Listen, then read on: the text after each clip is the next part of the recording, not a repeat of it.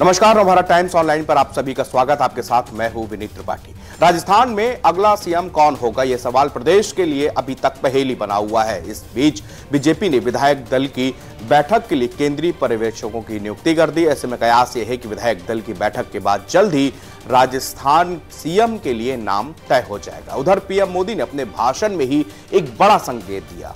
इसमें कहा कि मुख्यमंत्री तो राजस्थान के चेहरों में ही शामिल होगा। इस बीच केंद्रीय रेल मंत्री अश्विनी वैष्णव का नाम सबसे तेज इस रेस में अब आगे दिख रहा है। हालाँकि इस रेस में केंद्रीय मंत्री गजेंद्र सिंह शेखावत, ओम बिरला, किरोड़ीलाल मीणा, राज्यवर्धन सिंह राठौर और दिया कुमारी का नाम भी शामिल है। लेकिन सियासत में वैष्णव के नाम को लेकर सरगर्मियाँ बढ़ चुकी हैं। राजस्थान में मुख्यमंत्री की रेस को लेकर केंद्रीय मंत्री गजेंद्र सिंह शेखावत को भी मज़बूत दावेदार माना जा रहा है। गजेंद्र सिंह शेखावत, जोधपुर से सांसद हैं। उन्होंने 2019 में लोकसभा चुनाव में पूर्व मुख्यमंत्री अशोक गहलोत के बेटे वैभव वैभव गहलोत को हराया था। शेखावत का नाम संजीवनी क्रेडिट कोऑपरेटिव घोटाले से जुड़ा है। इसको लेकर गहलोत ने उन्हें जमकर घेरा। इसके अलावा गजेंद्र सिंह ऐसे नेता है जिन्होंने पूरे पाँच साल तक गहलोत सरकार को डरा कर रखा था, उनका मुकाबला भी किया। ऐसी स्थिति में सीएम पोस्ट के लिए गजेंद्र सिंह शेखावत को भी यहाँ पर मज़बूत दावेदार माना जा रहा है।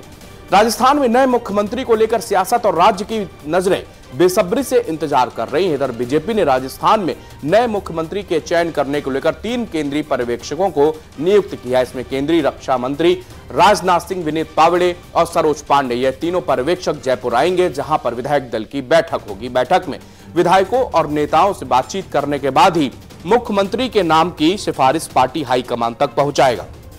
कहा जा रहा है कि पर्यवेक्षकों की रिपोर्ट के बाद ही बीजेपी नेतृत्व अगले सीएम का नाम तय करेगी।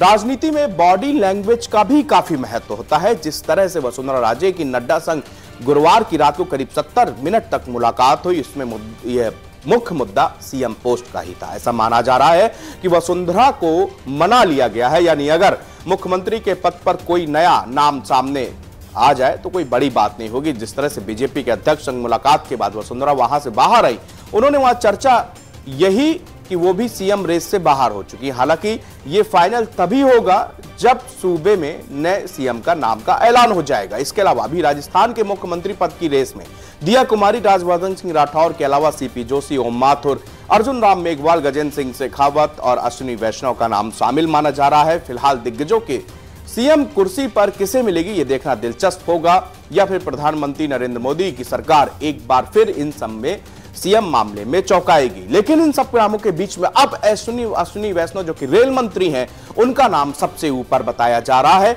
यह भी बताया जा रहा है कि उनकी साफ़ छवि और रेलवे मिनिस्ट्री रहते उन्होंने जिस तरह से अपना काम किया, उसका उनको रिज़ल्ट आगे मिल सकता है। और राजस्थान को नए सीएम के तौर पर अश्विनी वैष्णव वहाँ पर दिए जा सकते हैं। हालाँकि किरोड़ीलाल मीणा के नाम पर भी चर्चा हो रही थी, लेकिन अब जब सबसे लेटेस्ट जो जानकारी वो अश्विनी वैष्णव को लेकर है। अश्विनी वैष्णव राजस्थान के सीएम हो सकते हैं। फ़िलहाल वो अभी रेल मंत्रालय संभाल रहे हैं। अब चर्चा तभी विराम लगेगी जब आला कमान की ओर से सीएम फेस को डिसाइड कर दिया जाएगा। बीजेपी हमेशा से चौंकाती रही है, चौंकाने वाली पार्टी रही है। तो क्या अब जो नामों के हम लोग कयास लगा रहे हैं, वो सही है या फिर बीजेपी का कोई नया चेहरा राजस्थान की सियासत पे वहाँ की गद्दी पर बैठेगा।